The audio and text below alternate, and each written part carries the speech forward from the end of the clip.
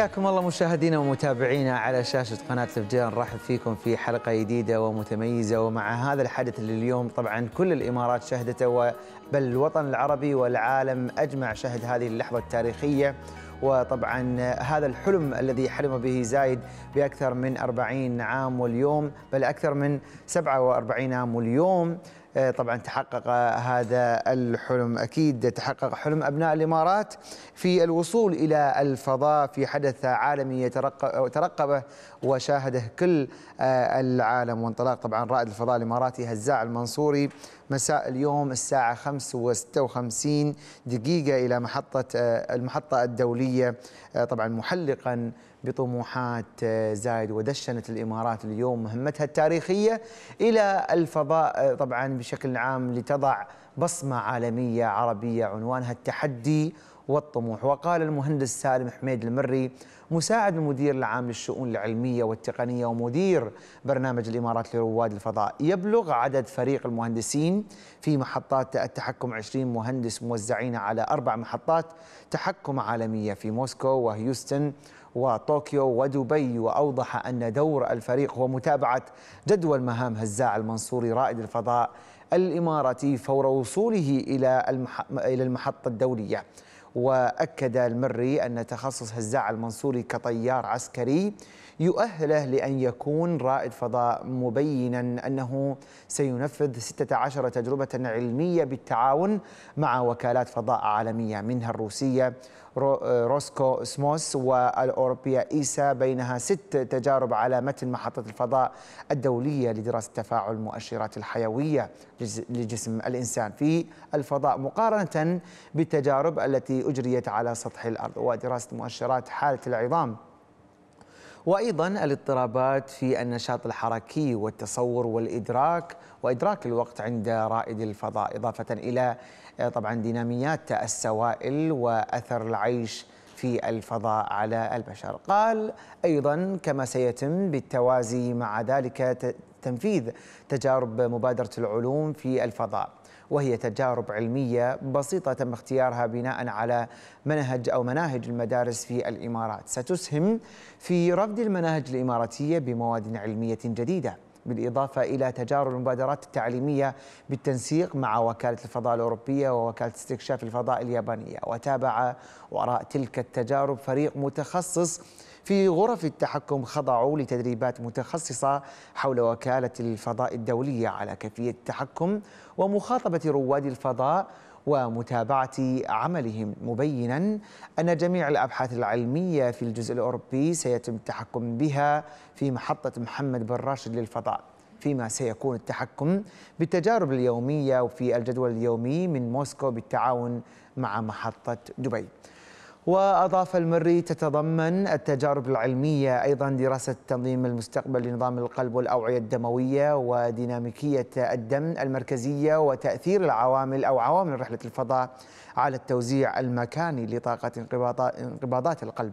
ودراسة مؤشرات حالة العظام وتكوين الجسم وتنظيم الغدد الصماء في رواد طبعا أو عند رواد الفضاء قبل وأثناء وبعد الرحلة على المدى القصير، فيما ستتم أيضا دراسة النشاط الحركي لرائد الفضاء في ظروف الطيران الفضائي ودراسة تأثير الجاذبية الصغرى على نمو الخلايا والكائنات الدقيقة والجينات ومعدلات إنبات البذور والفطريات والطحالب وتأثير المضادات الحيوية على البكتيريا والتفاعلات الكيميائية الأساسية في الفضاء. ودراسة تصور وإدراك الوقت عند رائد الفضاء وكيفية التحقق من سلوك السوائل تحت الجاذبية. ودراسة أثر العيش على المدى الطويل في الفضاء على تقدم السن أيضا. حيث ستصف نتائج التجربة بدقة وتأثير العلامة البيولوجية الجينية لتقدم السن بالتعرض للإشعاع أثناء الرحلات الفضائية. المطولة مما سيساعد في كشف العلاقة بين التغيرات الجينية وعملية التقدم بالسن عند البشر. مشاهدينا الكرام أكيد نحن مستمرين معاكم في هذه الحلقة ومع طبعا آه هذا الحدث الرائع اليوم. إن شاء الله راح نسلط الضوء عليه وتكون حلقة طبعا متميزة ولكن بنروح أيضا لمواضيع أخرى. بنسلط الضوء على دورة تدريبية عن استخدام التواصل الاجتماعي لدعم جودة الصحافة وإلى محمية وادي الوريعه. سنسلط الضوء أيضا على الملتقى العلمي العالمي لعام 2019 وانتخابات المجلس الوطني لهذا العام أيضا في هذه الدورة. وإلى إضافة إلى العديد من المواضيع في هذه الحلقة. مشاهدينا الكرام أكيد نبدأ معكم أول خبر معنا حيث أقيم. صباح أمس الاثنين فعاليات أو صباح أول أمس فعالية المؤتمر الصحفي الخاص بالإعلان عن تفاصيل الدورة السابعة من مهرجان الشارقه السينمائي للأطفال والشباب. ويعد هذا المهرجان الأول من نوعه محليا واقليميا ويقام تحت رعاية قرينة صاحب السمو حاكم الشارقة سمو الشيخه جواهر بنت محمد القاسمي رئيس المجلس الأعلى لشؤون الأسرة. المزيد في هذا التقرير. نتابع معنا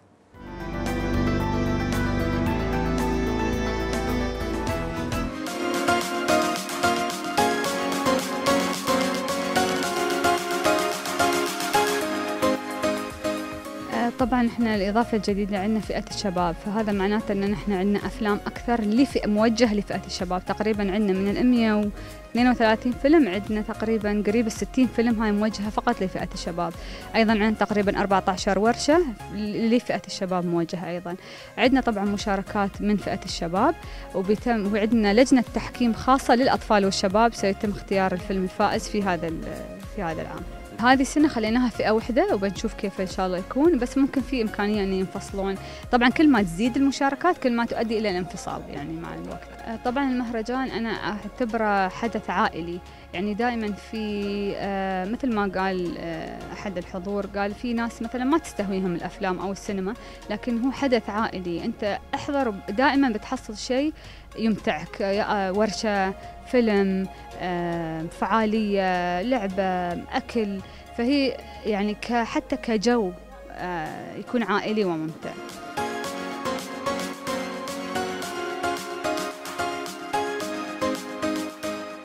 في شراكة مع مؤسسة فن المشرف على مهرجان الشارقة السينمائي الدولي للشباب آه، للأطفال والشباب آه، طبعا لسنة آه، ثانية وإن شاء الله تكون شراكة مستمرة قائمة على مبدأ يعني الأخذ بالمهرجان للأمام من ناحية استقطاب الاهتمام رعاية مخرجات هذا المهرجان يعني محاولة استقطاب آه، هؤلاء الشباب العاملين في هذا المجال بحيث أن يستمرون في المجال يعني يتخذونها ك آه، يعني مهنة خصوصا السينما مجالها واسع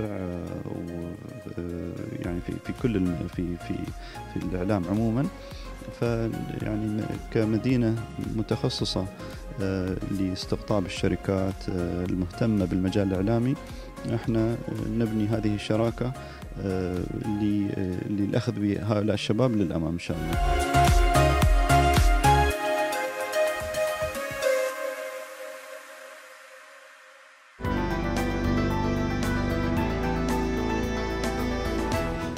مشاهدينا الكرام منظمة جمعية الصحفيين الإماراتية بالتعاون مع المركز الدولي للصحفيين بواشنطن وبرعاية اتصالات ودورة تدريبية عن استخدام وسائل التواصل الاجتماعي لدعم جودة الصحافة خلال الفترة من 22 وحتى ال 25 من سبتمبر الجاري بأبو ظبي ودبي.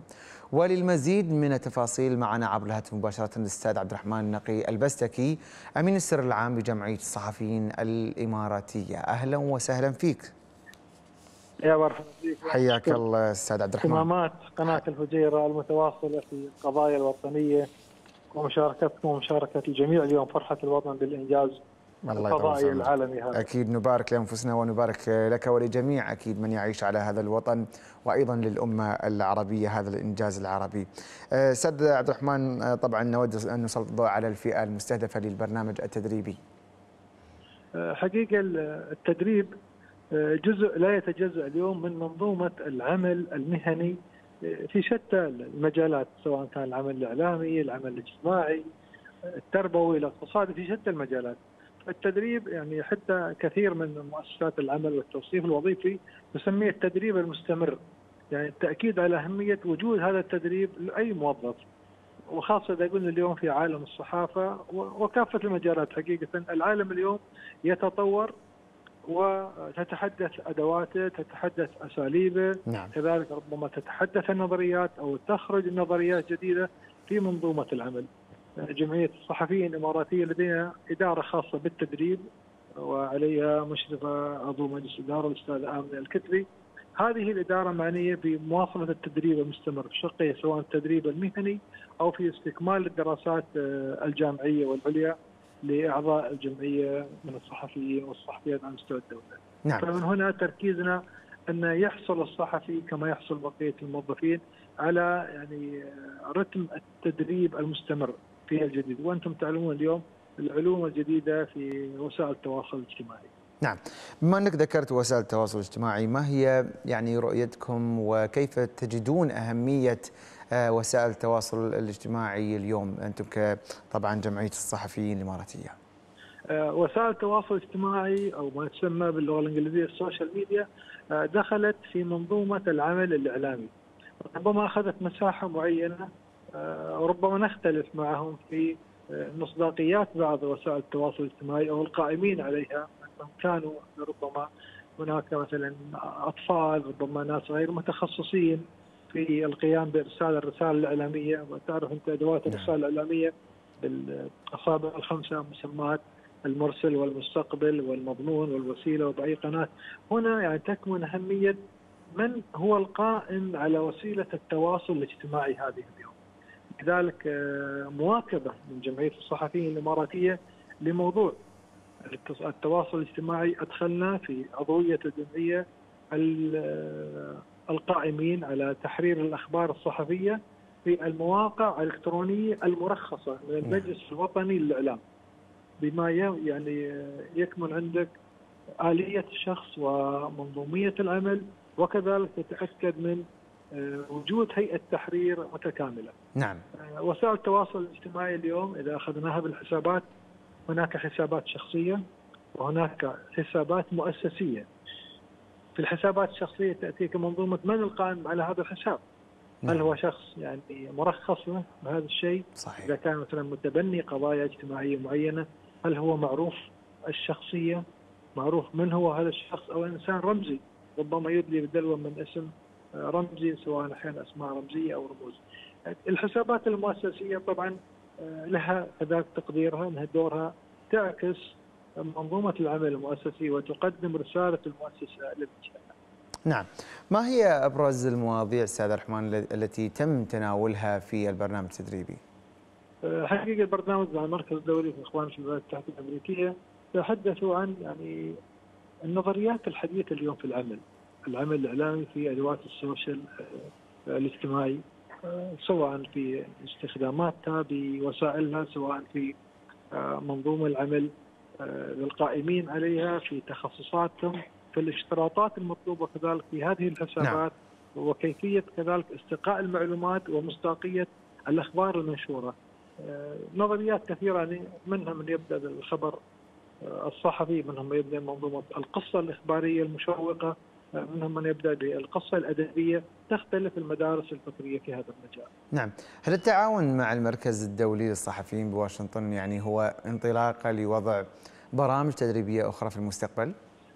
بالضبط نعم، اليوم الحمد لله الإقبال الكبير اللي حصلنا عليه من الأخوة أعضاء وعضوات الجمعية على مستوى الدولة وعملناها كذلك تقريبا أربع مرات هذه الدورة انعملت مرتين في أبو ظبي ومرة في دبي بحيث نغطي كافة إمارات الدولة هناك إقبال كبير وهناك كذلك يعني شيء مشجع دو أنت الإنسان ما يقدم خدمة إلا إذا كان هناك طلب وإقبال عليها هذا صحيح. الإقبال يعني جعلنا حقيقة يعني نؤكد استمرارية هذا النهج في نفس الوقت نؤكد أن الجمعية لا زالت تقدم خدماتها لأعضاء الجمعية سواء في استكمال تقوية لغتهم لغاتهم الأجنبية أو استعدادهم لإكمال ومواصله الدراسات الجامعية أو الماجستير أو الدكتوراه هناك منح تقدمها الجمعية مباشرة لأعضائها. جميل جدا. شكرا لك أستاذ عبد الرحمن النقي البسكي أمين السر العام بجمعيه الصحفيين الإماراتية على هذه المداخلة، شكرا جزيلا لك. شكرا شكرا لكم جميعا و نفخر بكم جميعا الله. يحفظك. شكرا جزيلا لك. يعطيك العافية. مشاهدينا الكرام على هامش أسبوع الإمارات البحري انطلقت أول أمس الاثنين فعاليات معرض سي ترين لتكنولوجيا تريد لتكنولوجيا السفن في الشرق الأوسط وسيستمر على مدار يومين ويعتبر المعرض من أو هو الحدث الوحيد خلال أسبوع الإمارات البحري الذي يعرض أحدث التقنيات المستخدمة في مجال النقل البحري. نتابع معا هذا التقرير.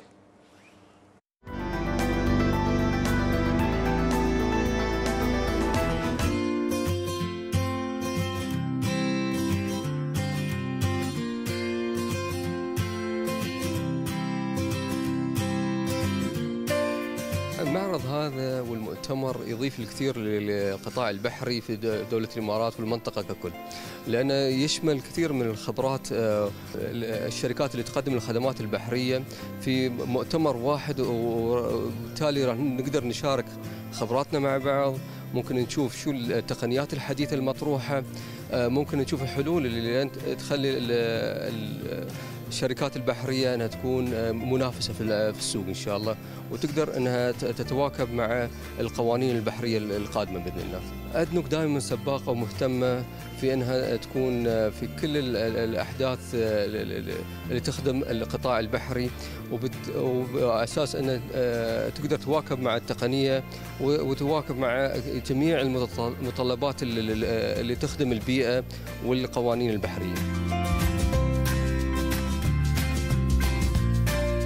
طريق الحرير سوف يكون هو آه، نسميها المحرك الجديد للصناعة. طبعا إحنا لما نتكلم طريق الحرير نتكلم على وان بيلت وان رود فبمعنى أن هناك نقل عن طريق الأرض وهناك نقل عن طريق البحر.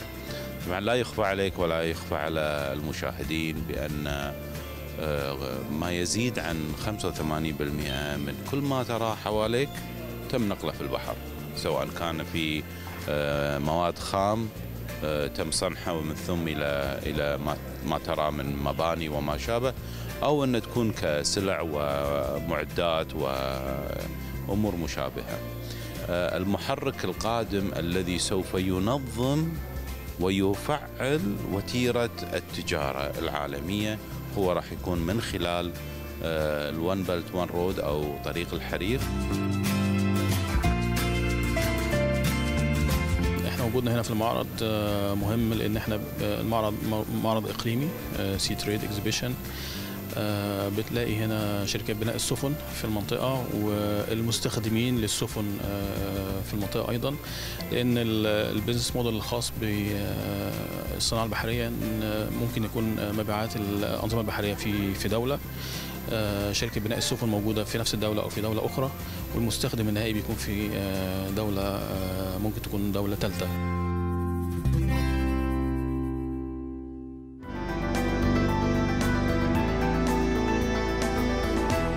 حياكم الله مشاهدينا من بعد. طبعا هذا التقرير ونسير وياكم الآن إلى محمية وادي لوريعة.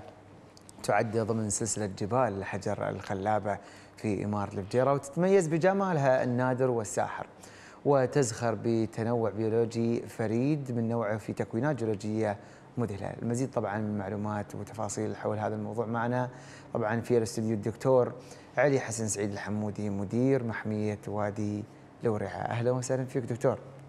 آه، أهلا وسهلا واشكركم على الاستضافة. واولا أهني آه، صاحب السمو رئيس الدولة وصاحب السمو نائب رئيس الدولة وصاحب السمو الشيخ محمد راشد وحكام دولة الإمارات وشعب دولة الإمارات. وهنا نفسنا بهذا الإنجاز العظيم صحيح. اللي تو اليوم بانطلاق أول رائد فضاء إماراتي إلى الفضاء. والحمد لله رب العالمين والله يوصله بالسلامة ويرجع لنا بالسلامه إن شاء الله. يرجع إلى أرض الوطن سالم غانم بإذن الله تعالى. أكيد نهني أنفسنا جميعا بهذا الإنجاز.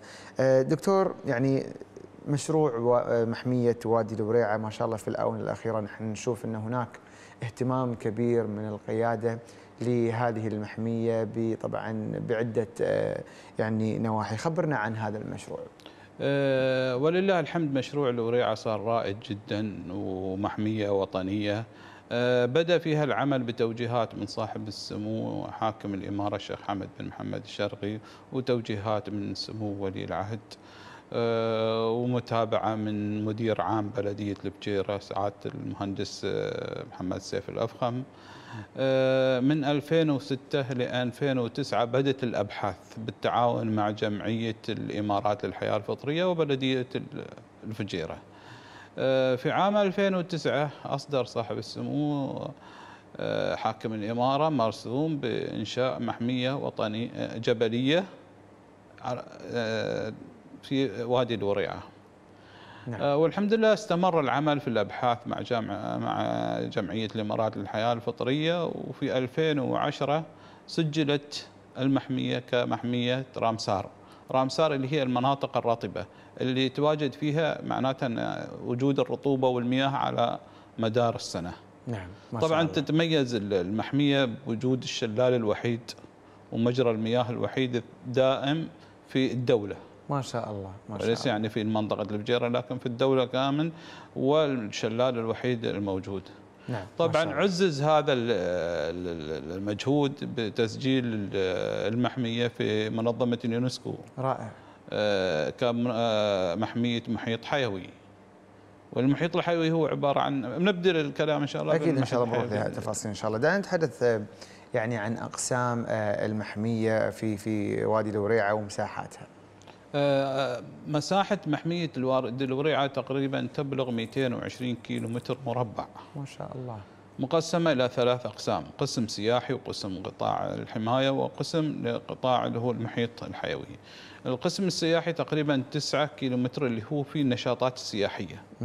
اللي ممكن السياح يعملوا فيها النشاطات المغامرات نعم. كل النشاطات تتعلق بالسياحة والمباني السياحية اللي إن شاء الله ستقام في هذه المنطقة. بإذن الله تعالى. آه، الجزء الثاني اللي هو جزء الحماية واللي هو الرئيسي. 100 تقريبا 118 كيلو متر مربع اللي توجد فيه منابع المياه وتوجد فيه أكثر أماكن فيها تجمعات للمياه المستدامة. توجد فيها الحياة الفطرية توجد فيها النباتات والحيوانات واللافقاريات في هذه المنطقة تسمى المنطقة اللي هي منطقة الحمى. منطقة المحيط اللي هي منطقة اللي تحيط في آه، المحمية تقريبا ما يقارب 98 كيلو متر مربع تقريبا. هذه تتمارس فيها النشاطات مثلا البنيان والنشاطات الثانية التجارية والعملية لكن بمراقبة بيئية. جميل. بحيث إنك أنت تراقب النشاطات هذه أو المشاريع ما تضر للبيئة أو الحيوانات أو الفطريات أو الحياة الفطرية الموجودة في المحمية. نعم، ما شاء الله اذا هناك تقسيم منظم وهناك أماكن مخصصة للمغامرات وأيضا آه، يعني أيضا أماكن مخصصة حتى للاختبارات ومراقبة الحياة آه، الفطرية، نحن مستمرين أكيد معك دكتور ولكن نطلع لهذا الفاصل الصغير إن شاء الله وبعدها راجعين نكمل معاك حوارنا حول هذا الموضوع. مشاهدينا الكرام فاصل ونواصل. خلكم ويانا.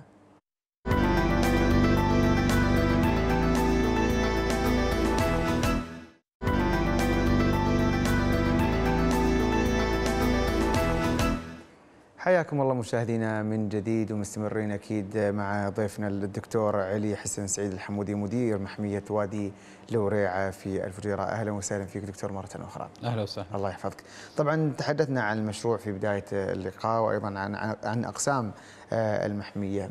آه، نروح لهذا التنوع الجميل التنوع الأحيائي في آه، المحمية. ولله الحمد المحمية فيها تنوع حيائي كبير من الحيوانات واللافقاريات والأسماك المياه العذبة تقريبا تحتوي على ثلاث أنواع 13 آه، نوع من الثدييات. ما شاء الله. آه، من أصل 20 نوع في دولة الإمارات. كذلك تحتوي تقريبا على 94 نوع من الطيور. وفي بعض الطيور نادرة يعني موجودة في محمية وادي الوريعه عندنا 15 نوع من الزواحف. وبعض الزواحف نادرة سميت في حاله مكتشفت بس في وادي الوريعة بعض الفقاريات والزواحف. سميت باسم وادي الوريعة. نعم. يعني اطلق عليها اسم وريعة كذا يعني. في نعم. كذا يمكن ثلاث أو أو أربع أنواع سميت باسم وادي الوريعة. نعم. آه، طبعا من النباتات تقريبا 208 نوع من النباتات وفيها أنواع نادرة مثل الأوركيد، الأوركيد نوع نادر يوجد بس في الأماكن اللي هي الرطبة واللي تحتوي على المياه الدائمة. نعم. آه، عندنا من الأسماك نوعين من الأسماك اللي هي المياه العذبة، أسماك المياه العذبة مش الأسماك البحار لكن المياه العذبة آه، من أصل ثلاث أنواع في الدولة وهذا في نوع نادر خاص بوادي الوريعه. آه كذلك في الفقاريات واليعاسيب الفقاريات طبعا عندنا تقريبا 74 نوع آه اليعاسيب تقريبا 24 نوع من اليعاسيب موجودين وفي نوع من اليعاسيب آه كان معتبر منقرض في المنطقة لكن ولله الحمد تم اكتشافه مؤخرا في الوريعة بسبب أنه هذه المنطقة المياه موجودة فيها على مدار السنة آه، مياه عذبة مياه نقية لم تتلوث. بعيدة عن التلوث بعيدة عن المصانع بعيدة عن الكسارة بعيدة عن كل عوامل التلوث. ولله الحمد مياه نقية جدا يعني. نعم الحمد لله رب العالمين. بالنسبة للنباتات والزواحف وأيضا الحشرات النادرة الموجودة في المحمية كيف تساهم المحمية وأيضا الجهود آه، في هذا المشروع للحفاظ على هذه آه، يعني الكائنات الحية؟ مجهود المحمية مجهود جبار في المحافظة على هذه الأنواع. طبعا كان هناك في سوء استخدام للمحمية قبل إعلانها كمحمية من السياح ومن الزوار وحتى من أهالي المنطقة إيه، سواء في عملية القنص سواء في عملية الكتابة على الصخور آه، الاستحمام والسباحة في البرك والمياه نعم. آه، الحمد لله وضعت البلدية شروط خاصة بالبيئة وكيفية آه، زيارة هذه المناطق تم عمل تنظيف الكتابة على الصخور جميل. منع الصيد آه، منع قطع الحشائش في موسم الأمطار وفي غير موسم الأمطار منع منعا باتا قطع الحشائش في المحمية. نعم، بالنسبة أيضا دكتور لبرنامج مراقبة الحياة الفطرية اللي طبعا أطلقتموه. كيف تتم هذه المراقبة؟ آه، مراقبة الحياة الفطرية تتم عن طريقين. طريق الجوالين اللي هم متخصصين في الجوالين مخصصين بيئيين جوالين بيئيين يسمون في في المحمية نعم وطريقة ثانية عبارة عن كاميرات خفية أو جميل. فخية جميل الكاميرات هذه موزعة على جميع المحمية. تقريبا ما يقارب 90 كاميرا عندنا في في المحمية. رائع. هذه كاميرا تشتغل بالسنسر. يعني في حال أي مرور حيوان مرور إنسان تشتغل الكاميرا تشتغل كاميرا وتصور سواء ليلية أو في النهار تشتغل الكاميرا فهذا ساعدنا كثير أن إحنا نراقب عملية الحياة الفطرية والتعديات على المحمية. وكذلك استخدمنا في برنامج اسمه برنامج SMART نعم. اللي هو للبيئة. البرنامج هذا برنامج ذكي. فاستغلال البرامج الذكية والبرامج هذه في عملية اللي هو ال data. بدل أنت ترجع تأخذ data وترجع للمكتب وتسجل وكذا لا.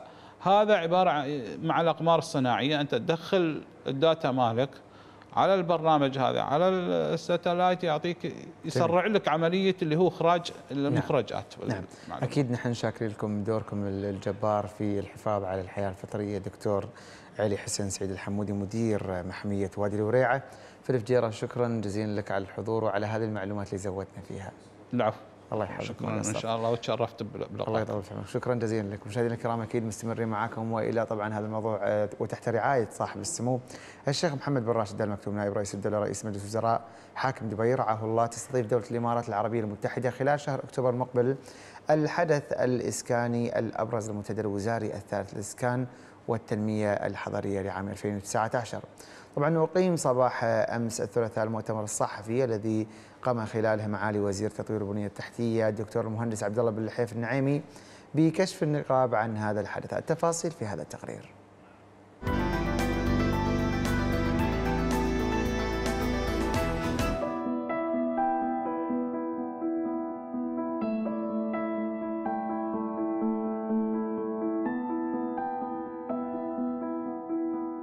سوف يناقش ثلاث مواضيع أساسية. ألا وهي استدامة الإسكان وكيفية إدخال القطاع الخاص في آه، ديمومة آه، هذا المسكن واستراتيجيات المستقبل نحو وإسكانا مستدام. سوف يكون هناك أكثر من 22 وزير في هذا المنتدى. كذلك سوف يناقش أوراق العمل مجموعة كبيرة من من الوزراء حدود 12 وزير وكل سوف يناقش ورقة تعنى بموضوع يراه مهما. كذلك أتينا ببيوت خبرة لتناقش تجارب هذه الدول. نتمنى أن نكون موقعا مميزا لزملائي وأخواني المعنيين بالإسكان. والتعمير العرب وإن شاء الله أن يجد هذا المنتدى ردود أفعال وتوصيات قابلة للتطبيق في وطننا العربي الكبير. هذا الأوبريت عبارة عن نحن نسميه السوفت القوى الناعمة لإدخال الأفكار للآخرين. الفنانون العرب ينسجمون سويا يعني اليوم بتجد فنان من لبنان ومؤلف كلمة من الإمارات وملحن من مكان ما من الإمارات وينسجمون أردنا المسؤولين أن يعرفون أن هناك تجارب مهمة في دولة الإمارات وممكن أن يستفاد منها. أردنا منه الحقيقة هذا الأوبريت أن يكون هو القوة الناعمة لإيصال لإيصال التوصيات للمسؤولين العرب عن الإسكان لأنه الإسكان هو الهم الحقيقي لكل القيادات في الوطن العربي الكبير. أصحاب السمو الشيوخ هنا في كل اجتماعاتنا في كل لقاءاتنا يتكلمون حول إسكان المواطنين وكيف نستطيع أن نجعل منه نجعل من هذا الإسكان إسكانا مميزا يسعد به الناس ويمكن أن يرون فيه جودة للحياة. تتناسب مع متطلباتهم. أنا على يقين أن هذا كذلك في في كل الوطن العربي الكبير. وإذا ما كان نريد أن تكون هذه العدوى التي نريد أن ننقلها على ألحان الموسيقى.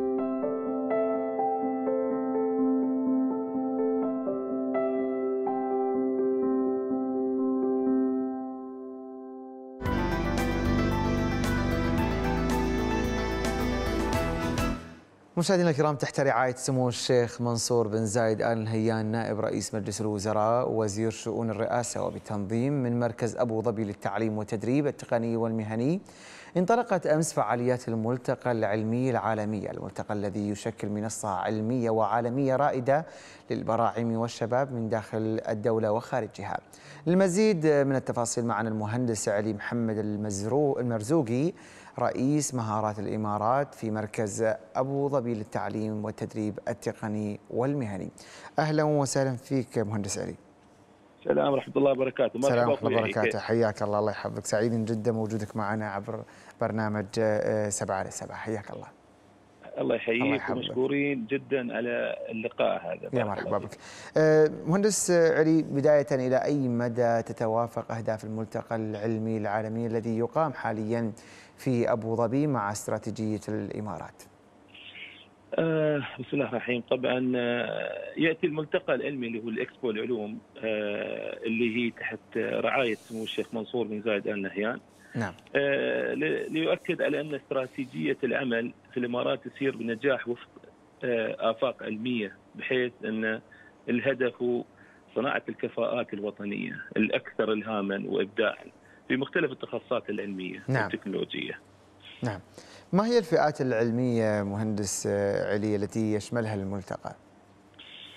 طبعا الفئات تضم 13 خلينا نقول فئة هي من من تقريبا الفيزياء وعلم الأحياء والجيولوجيا نعم. والكيمياء والرياضيات وعلوم الأرض والطبية والصحية يعني فيها تقريبا هي 13 مجال وفئة يشاركون فيها من سبعة من 57 دولة ما شاء الله. مشاركين. نعم. ومن ال... وفي عندنا تقريبا حوالي 800 مشروع مقدم. ما شاء الله. حوالي هم 500 500 مشروع من خارج الدولة من 57 دولة.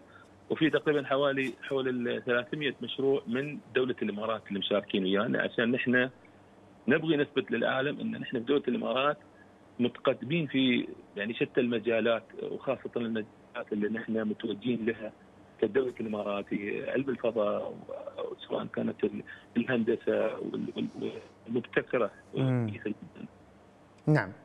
مهندس تسمعني؟ أسمع. إي نعم.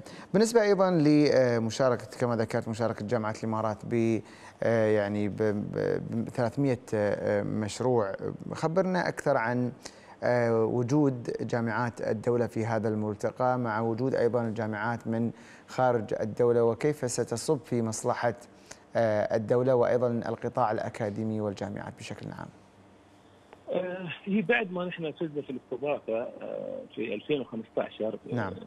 إن نحن قضية الحق الذهني مباشرة نحن عملنا على على خطة استراتيجية مع الجامعات والمدارس بشكل عام.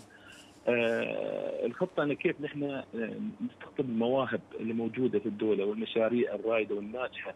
آه فاللي موجودين اليوم الحمد لله من مواطنينا آه تقريبا حوالي يفوقون ال 500 طالب وطالبة نعم. موجودين يعني ما شاء الله يعني بكثرة والمشاريع جدا حديثة فأنا يعني إذا ممكن من منبركم إني أدعي جميع أولياء الأمور آه إنهم يحضرون ويجيبون عيالهم معاهم علشان يشوفون آه إن شو المشاريع اللي موجودة سواء حق مشاريع دولة الإمارات الطلاب وأيضا المشاريع من 57 دولة اللي جايين عشان يستفيدون من نعم آه من اللي موجود.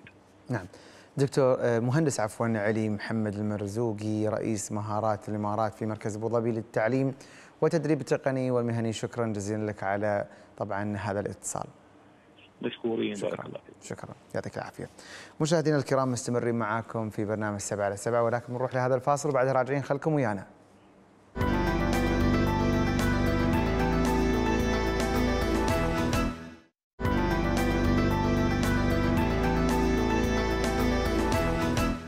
حياكم الله مشاهدينا من بعد هذا الفاصل. الحملات الانتخابية هي طريقة تحضير المرشحين لأفكارهم ومواقفهم بشأن القضايا وتحديات وعرضها على طبعا الناخبين في الفترة السابقة. ليوم الانتخابات فيستخدم المرشحون مجموعة متنوعة من التقنيات لبلوغ طبعا أو إيصال رسائلهم إلى المجتمع من خلال وسائل الإعلام التقليدية وأيضا الحديثة.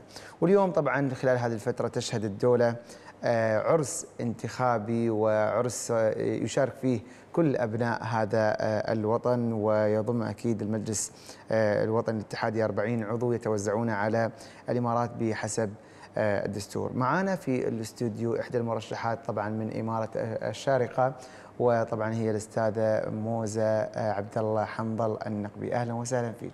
أهلا الله حياك الله. سعيد جدا بوجودك معنا. جميل. الله يحفظك. الله يعني فعلا اليوم نشوف ما شاء الله هناك وعي كبير في بوجود طبعا الرسائل التي تم عرضها والأهداف التي تم عرضها من قبل المرشحين. وهناك أيضا وعي قوبل من المجتمع الإماراتي ومتابعة رائعة لهذا العرس الانتخابي كيف تصفين هذه الفترة؟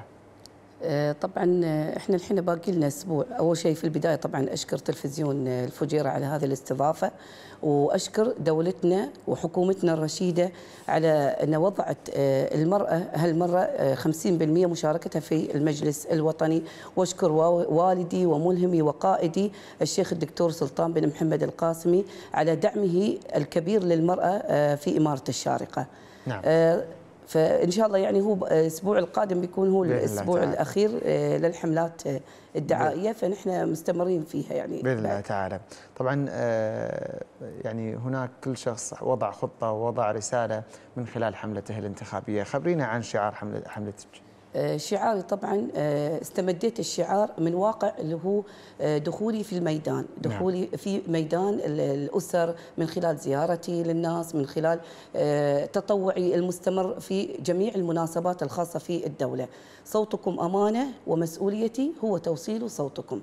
فالصوت يعتبر أمانة، الأمانة حمل الجبال لم تقدر على حملها، فكيف بيكون بالإنسان؟ فهذه أمانة آه، تحمل على أعناقنا، جميع المشاركين سواء فزنا أو سواء كنا في المجلس أو لم نكن في المجلس، هذا وطن والوطن محتاج دائما دعم من المواطن نفسه. فنحن بنكون دعائم وتوصيل لهذا لصوت المواطن إلى المجلس الوطني. نعم. آه، شو هي أهم المحاور الرئيسية التي يقوم عليها برنامج الانتخابي؟ طبعا أنا آه، البرنامج الانتخابي ركز على الأسرة ركزت على الأسرة الإماراتية نعم. المتكاملة من جميع النواحي آه، ركزت على آه، أصحاب الهمم نعم.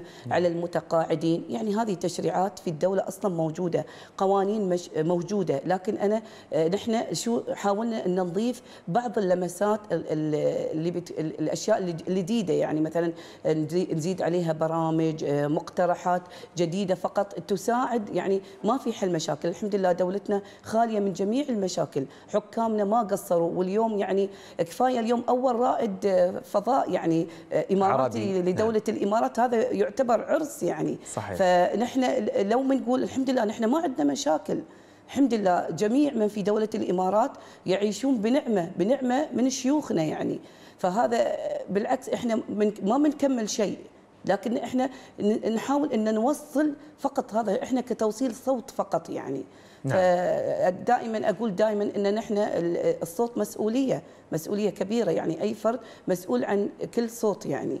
نعم. تمكين المرأة لبناء أسرة متماسكة بهدف الدعم آه، دعم المجتمع الإماراتي. طبعا هذه من أهم المحاور الرئيسية آه، يعني ل يعني لرسالتك أو ل طبعا الأهداف اللي وضعتيها. كيف راح تعملين على هذا الموضوع؟ طبعا المرأة بحر. نعم. المرأة أسرة آه، تحتها أطفال أبناء آه، المرأة قد تكون مثلا عندها آه، معها زوج معها جدة معها نعم. المرأة تكون كيف الأسرة متكاملة؟ في وايد يعني مثلا هي معالج بعض المعالجات لبعض مش نقول مشاكل لكن أشياء واقعية مثل معالجة الطلاق. الحمد لله الدولة وفرت وايد أشياء مثلا المطلقات. وفرت آه، أشياء الكثير من المعالجات أو المشاكل الأسرية.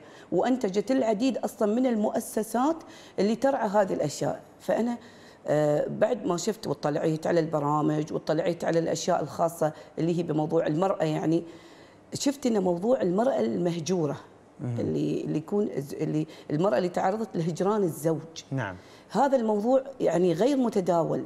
صحيح. غير ما في تداول كبير أو ما في قانون يحفظ لهذه المرأة بعض الامتيازات الخاصة بأبنائها قد يكون الزوج من إمارة ثانية نعم. هي تكون من إمارة والزوج من إمارة ويكون الأبناء عندها لكن هي تكون مهجورة نعم. فنحن ليش ما نفكر الحمد لله دولتنا ما قصرت في المطلقة، دولتنا ما ما قصرت في الأرامل، ما قصرت في في في كبار المواطنين، لكن هذه الفئة اللي هي المرأة المهجورة.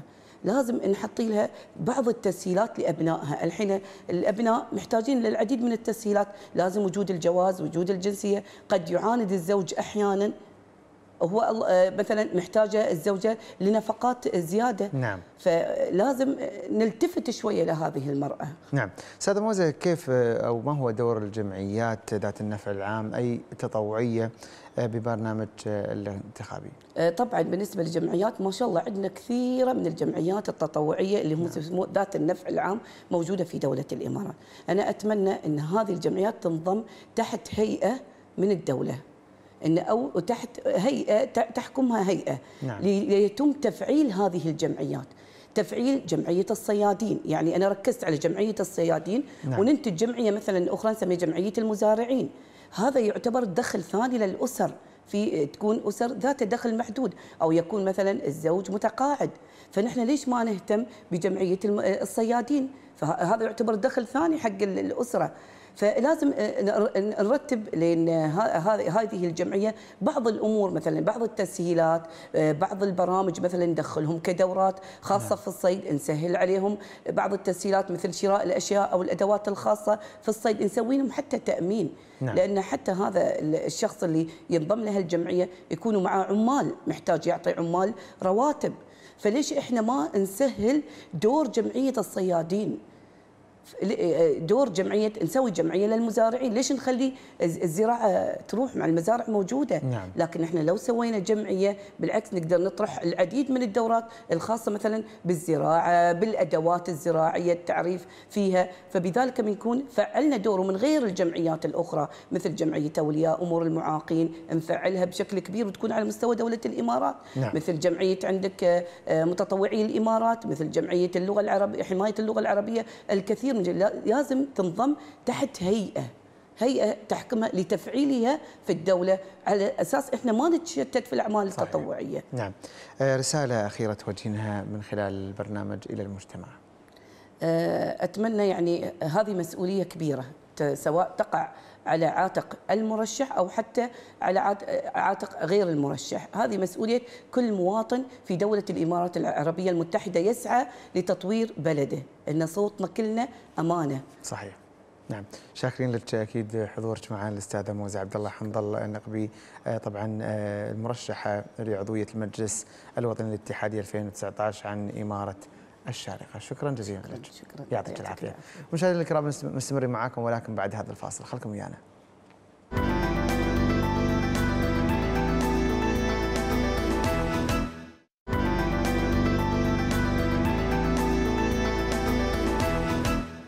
مشاهدينا الكرام ولا زلنا في المجلس الوطني الاتحادي. طبعا السلطه الاتحادية الرابعة بناء على ترتيبات سلم السلطات الاتحادية. الخمسة المنصوص عليها في الدستور. واليوم طبعا يعني قبل شوي كانت عندنا إحدى العضوات موزة حنظل. والآن أيضا معانا في الاستوديو الأستاذ سلطان مليح طبعا ممثل إمارة الفجيرة والمرشح طبعا خلال هذه الفترة. حياك الله أستاذ سلطان. يا مرحبا بكم. أهلا وسهلا فيكم. يا الله يسعدكم سعيدين جدا بوجودك معنا والله نحن لسعد وبس بداية قبل كل شيء نحن نبارك لدولة الإمارات حكومة وشعبا. والله يحفظ الإمارات ويحفظ شيوخها ويحفظ أهلها على أول رائد فضاء إماراتي. إماراتي. نعم. هذه مفخرة مش للإمارات لكل العرب. صحيح. مفخرة. الله يحفظك. الحمد لله الله يحفظ مبارك للجميع هذا الإنجاز العالمي. أستاذ سلطان طبعا ما شاء الله هناك محاور سلط عليها من خلال برنامجك الانتخابي خلال هذه الدورة. الشباب الأمل والمستقبل. طبعا كان هذا كان هذا أحد المحاور. أهمية تمكين الشباب بسياسات فاعلة وملموسة في صناعة المستقبل برأيك كيف؟ بداية الكل عارف أن الشباب هم عصب أي دولة نعم. الشباب هم العماد الأساسي لأي دولة اهتمامنا بالشباب وأن نكون موجودين مع الشباب الشباب يمثلوا 49% من عدد سكان دولة الإمارات العربية المتحدة فيجب أن نكون معاهم قلبا وقالبا ونوقف نعم. معاهم قلبا وقالبا محتاجين أن نمكن الشباب تمكين الشباب سواء كان التمكين بوظائفهم سواء كان سواء كان بالمؤسسات الحكومية أو بالمؤسسات الخاصة ناخذ بيدهم سواء كان بدعمهم. زين بإنشاء شركات صغيرة متوسطة سواء كان بتنميتهم سواء كان دعمهم بالدورات التدريبية سواء دعمهم بكل ما هو جيد ومفيد وهو يخصهم. نعم. بالنسبة لي يعني اليوم نشوف ما شاء الله هناك تسارعات عالمية كبيرة. في صناعة التكنولوجيا في يعني للمستقبل ما بين التعليم وأيضا تطوير المهني. كيف يواكب مشروعك طبعا الانتخابي ومحورك هذا هذا هذه التطلعات؟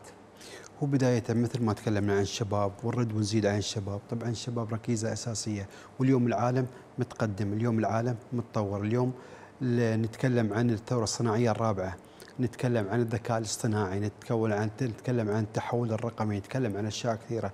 وين شبابنا من هذا كله؟ شبابنا الحمد لله متواجد. شباب دولة الإمارات العربية المتحدة الحمد لله مثقف واعي متعلم فاهم.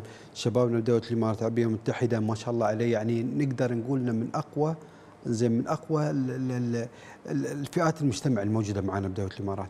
فهذا شيء جميل وشيء جميل.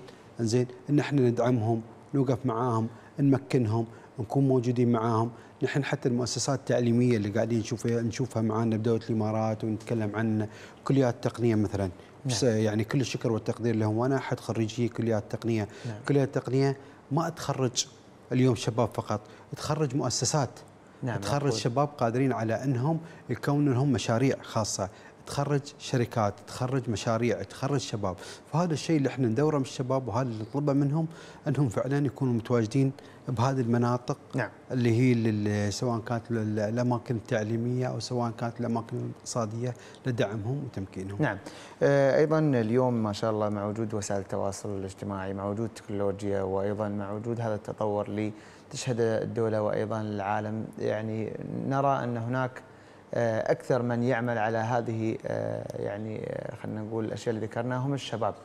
كيف يتعامل الشباب مع هذه أو هذا التطور الذي نشهده في الإمارات مع في المقابل الحفاظ على القيم والمبادئ الإماراتية. القيم والمبادئ الإماراتية والهوية الإماراتية شيء أساسي موجود معنا. نعم. دائما نحن لازم نحط لنا شعار هذا ما يحبه زايد وهذا ما يحبه زايد. نعم. ولازم دائما نتكلم عن شيئين نضع إيد واحدة على حاضرنا وتراثنا وتاريخنا واليد الثانية على مستقبل دولة الإمارات على التكنولوجيا على الفضاء اللي طلعنا اليوم. هذا الاثنين هذا المحورين الرئيسيين لازم إحنا نحافظ عليهم.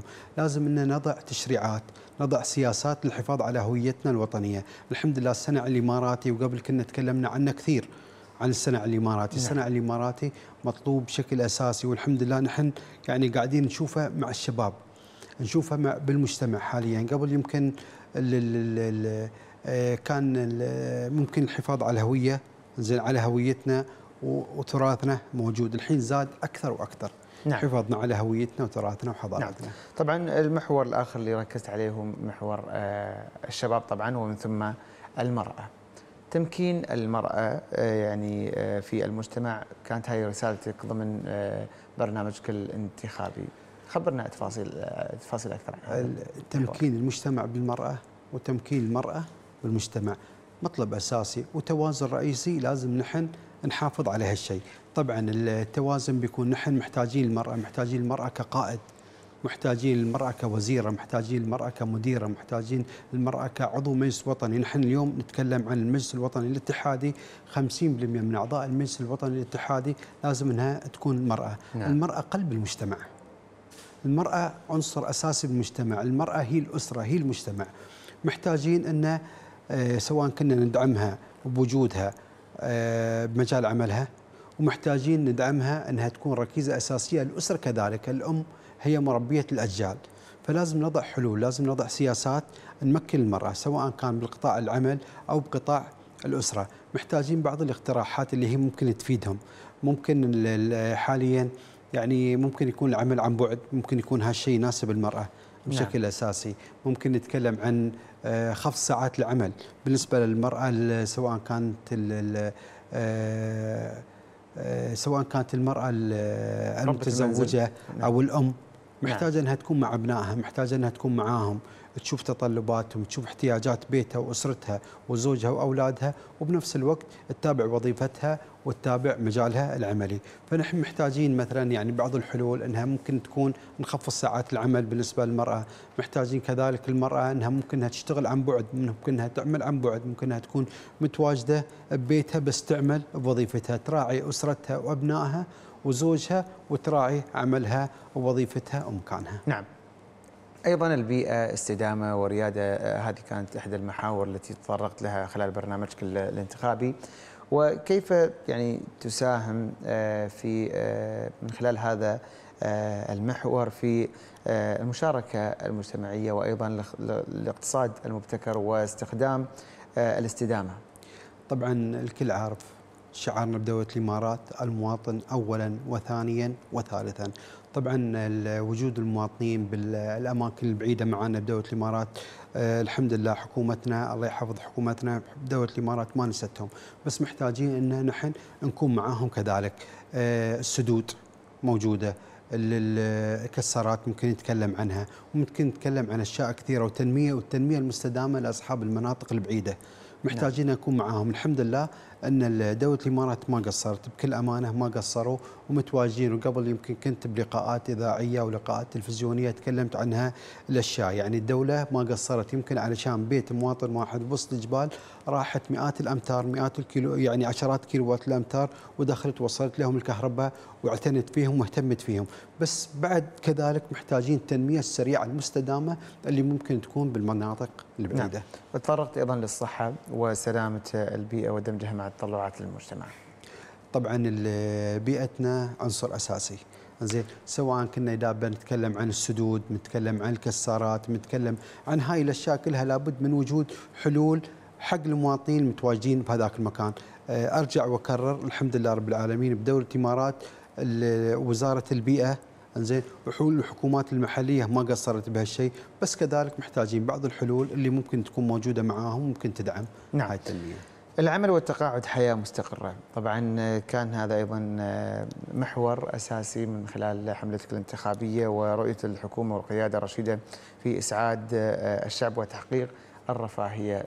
من خلال هذا يعني هذا المحور ماذا تريد أن تضيف؟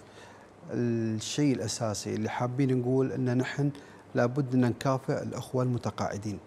الأخوة المتقاعدين قدموا للوطن الكثير فلازم أنهم يعيشوا حياة زين متناسبة مع الوضع اللي إحنا موجودين عليه حاليا. نعم. هذا هذا شيء أساسي موجود ولازم إن نرد الجميل لهم وهم يستاهلوا. والدولة ما نستهم بس إن شاء الله نكون معاهم أكثر وأكثر. هذا الشيء وبالنسبة لسوق العمل الموجود تكلمنا عنه اللي هو لازم من دعم الشباب سواء كان بالوظائف الحكومية الموجودة أو بالوظائف الخاصة. وظائف الخاصة تمكين الشباب لازم نمكنهم لازم نكون موجودين معاهم. مثل ما سمعنا الأخ رحومي الله يحفظه قبل فترة يتكلم عن عن دعم الشباب سواء كان بالعمل الخاص أو بالمؤسسات الخاصة. نعم. لابد من دعمهم سواء كان بمعادلة الرواتب لهم سواء كانت بعدد ساعات العمل سواء كانت بالوقت اللي هم يشتغلوا فيه. زين عدد أيام الأسبوع. انه مثلا يكون ست أيام بدل ما يكون خمسة أيام بدل ما يكون ست أيام. عدد ساعات العمل الموجودة سواء كان بالرواتب يعني مستحيل اليوم مواطن شاب يبي يبني حياته يبي يبدأ حياة جديدة سواء بيتزوج بيبني نعم. بيت بيفتح بيت. زين الرواتب البسيطة صعب إنه هو يعيش فيها. رواتب ستة وسبعة وثمانية صعب إنه يعيش فيها. فدولة الإمارات حد حطت حد أدنى للرواتب. الحكومية فنتمنى انه هذا الشيء كذلك يكون للمؤسسات الخاصة حد أدنى للرواتب بدعم حكومي. نعم. طبعا اليوم من خلال مجلس الوطني الاتحادي لا شك أن دور الشعب لازم يكون حاضر في المساهمة لتحقيق أهداف السعادة والاستقرار للمجتمع بشكل عام. عفوا. كيف برأيك يقوم الأعضاء بشكل عام يعني بتماشي أو تماشيا مع هذه الرؤية للوصول إلى هذا الهدف؟ أستاذ الفاضل اليوم الكل عارف أن الشعب والحكومة ماشيين بتوجه واحد اللي هو إسعاد المواطنين نعم. وإسعاد المواطن وإسعاد شعب دولة الإمارات العربية المتحدة نعم. والكل عارف كذلك أن نحن قاعدين نمشي بخط مستقيم الحمد لله لتحقيق مئوية الإمارات 2071 هذا شيء أساسي معنا بدولة الإمارات والكل الكل قاعد يمشي عليه اللي هو أفضل حكومة أفضل مجتمع أفضل صحة أفضل تعليم كل المحاور متمركزة بهذه الأشياء الأساسية بأربع أشياء أساسية وتحتها تندرج طبعا أشياء وايد. فالتعاون الكبير والتواجد بين الحكومة والشعب ودمجهم كلهم. بمكان واحد راح يحقق السعادة للمجتمع والسعادة لشعب دولة الامارات بإذن الله تعالى. شكرا لك الأستاذ سلطان مليح. طبعا أحد المرشحين للمجلس الوطني الاتحادي لعام 2019 عن إمارة الفجيره شكرا جزيلا لك على حضورك معنا وهذه الرسائل المهمة الشكر والتقدير لكم والله يعطيكم العافية. وشكرا لجهودكم حقيقة بتلفزيون الفجيرة. والله يقويكم. الله يقويك. شكرا جزيلا لك. يعطيك العافية. شكرا لكم. مشاهدينا الكرام وصلنا وياكم لختام حلقتنا لهذه الليلة. نلقاكم غدا بإذن الله تعالى في نفس الموعد. في أمان الله ورعايته.